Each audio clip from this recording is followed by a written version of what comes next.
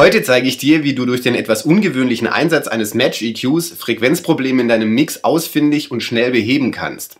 Einen Match-EQ setzt du normalerweise dafür ein, um die Referenzkurve deines Mixes an die Referenzkurve eines professionellen Mixes anzupassen und deinen Mix dadurch etwas moderner und aufgeräumter klingen zu lassen. Mit einem Match-EQ kannst du aber auch genau das Gegenteil erreichen, nämlich unliebsame Frequenzen schnell ausfindig machen und diese dann absenken.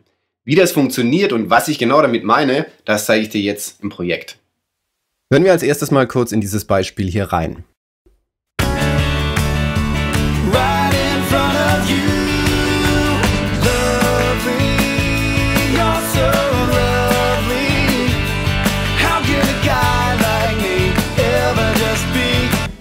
Das hört sich soweit alles schon mal ganz gut an. Allerdings habe ich ein Problem ausgemacht, um das ich mich jetzt mal kümmern möchte. Ich schalte mal hier die Vocals Solo und dann diese Rhythmusgitarren hier Solo. Right in front of you, lovely, you're so lovely. How can a guy like Ich mag diesen Gitarrensound sehr, der klingt richtig gut und auch die Vocalproduktion ist schon ganz gut. Allerdings habe ich den Eindruck, dass diese Gitarren, diese Rhythmusgitarren ähm, teilweise die Lead Vocals maskieren, wenn es um die Frequenzbereiche geht. Das heißt, die Vocals versinken immer mal wieder so ein bisschen hinter diesen Rhythmusgitarren und das möchte ich jetzt ähm, dieses Problem möchte ich jetzt lösen und zwar indem ich Frequenzen in den Lead-Gitarren, äh, in den Rhythmusgitarren, Entschuldigung, absenke, die wichtig für die Lead Vocals sind. Und hier kommt jetzt unser Match EQ ins Spiel. Wir machen folgendes. Ich lade hier diesen Match EQ rein und was ich jetzt mache ist, ich hole mir die Frequenzkurve von den Lead Vocals zunächst mal. Ganz normal, wie man Match EQ einsetzt. Und dazu sidechaine ich diesen EQ, äh, diesen Match EQ hier. Und ich suche mir die Lead Vocals raus, die sind hier. Und jetzt äh, lassen wir uns hier als Referenz die Frequenzkurve aufzeichnen von den Lead Vocals. Das ist zunächst mal der erste Schritt. Ich gehe einfach auf Learn und lasse es ein paar Takte laufen. Right in front of you, lovely, you're so lovely. How can a guy like me ever just be friends with a girl like you? Okay. Das ist die Frequenzkurve oder das sind die Frequenzen, in denen sich die Vocals hauptsächlich aufhalten. Was ich jetzt mache, ist, ich drücke auf Match und jetzt gleicht er die Frequenzkurve meine Rhythmusgitarren an die Frequenzkurve der Vocals an. Das ist natürlich völliger Quatsch, weil ich ja genau das Gegenteil will. Wir können mal kurz reinhören.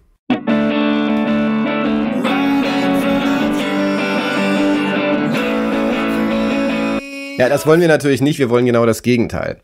Der Vorteil ist jetzt, dass ich hier sehe, wo sich die Lead Vocals hauptsächlich aufhalten. Und da der Match EQ jetzt hier in, unsere, in meine Rhythmusgitarren geladen ist, kann ich jetzt einfach das Gegenteil von einem EQ-Match machen. Und zwar ziehe ich einfach die Frequenzen raus, die für die Vocals wichtig sind. Das mache ich über diesen Slider hier. Ich passe also nicht die Frequenzkurve der Rhythmusgitarren an die Lead Vocals an, sondern ich mache genau das Gegenteil. Ich senke die Frequenzen, die spezifisch jetzt für diese Vocals sind, ab. Und da fährt man meistens bei so zwischen, zwischen 30 und 40 Prozent ganz gut. Und jetzt sollten die Frequenzen freigeräumt sein in den Rhythmusgitarren, in denen sich hauptsächlich die Lead Vocals aufhalten. Ich lasse es mal laufen und dann fahren wir langsam hier diese Frequenzen runter, die wir in den Rhythmusgitarren nicht so sehr haben wollen. Right in front of you, lovely, you're so lovely. How can a guy like me ever just be friends with a girl like you. Und hörst du, wenn ich die Frequenzen rausziehe, die wichtig, also wenn ich bei den Rhythmusgitarren die Frequenzen rausziehe, die wichtig für die Lead Vocals sind, wie sofort Platz geschaffen wird für die Lead Vocals, wie viel besser die auf einmal jetzt durch den Mix haben wir jetzt nicht gehört, aber wie viel besser sie sich gegen diese Rhythmusgitarren durchsetzen. Ich kann es gerade nochmal machen und zwar als Direktvergleich. Ich schalte erst den Match EQ aus, wo die Frequenzen rausgezogen sind und dann wieder an right in front of you, lovely, you're so lovely. How can a guy like me ever just be friends with a girl like you. Cause love has found us fast. I know we can make it last forever now. Und schon haben wir unglaublich viel Platz für die Lead Vocals geschaffen und die unliebsamen Frequenzen aus den Rhythmusgitarren rausgezogen. Wir sind aber noch nicht ganz fertig, wir müssen noch ein paar Feineinstellungen vornehmen. Übrigens, wenn dir das Video bis hierher gefallen hat, freue ich mich natürlich riesig über einen Daumen nach oben oder wenn du das Video mit jemandem teilst, äh, der sich dafür auch interessieren könnte.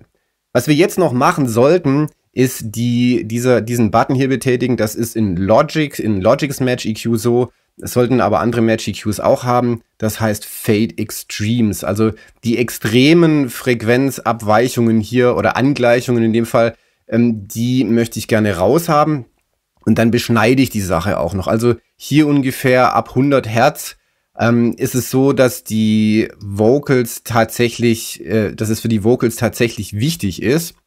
Und dann beschneiden wir hier oben auch noch so ein bisschen, ja, ist nicht ganz so wichtig, vielleicht hier, so dass wir wirklich nur diesen Frequenzbereich hauptsächlich bearbeiten, der wichtig ist für die Lead Vocals und den wir somit freiräumen können. Wenn du dich für die Arbeit mit dem Match EQ interessierst, dann empfehle ich dir dieses Video hier unten. Da zeige ich dir, wie du ein Match EQ auf einen kompletten Mix anwendest und somit deinen eigenen Mix der Frequenzkurve eines professionellen Mixes anpassen kannst, um noch ein bisschen näher an den Pro-Sound zu kommen. Wenn dir dieses Video gefallen hat, dann freue ich mich, wenn du mir einen Kommentar da lässt und wir sehen uns schon bald wieder beim nächsten Tutorial.